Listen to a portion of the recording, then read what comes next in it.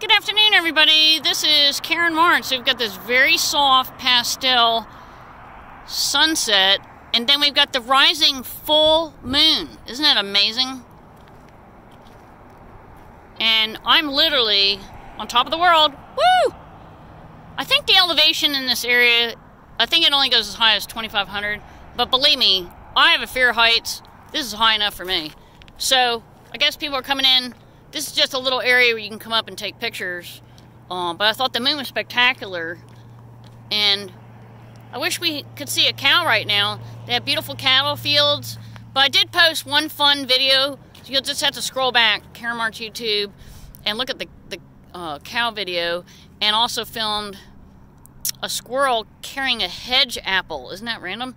And um, my dad had deer, a buck right in his front yard.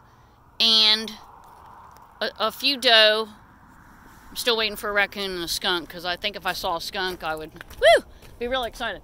All right, guys, and just amazing rock structures here.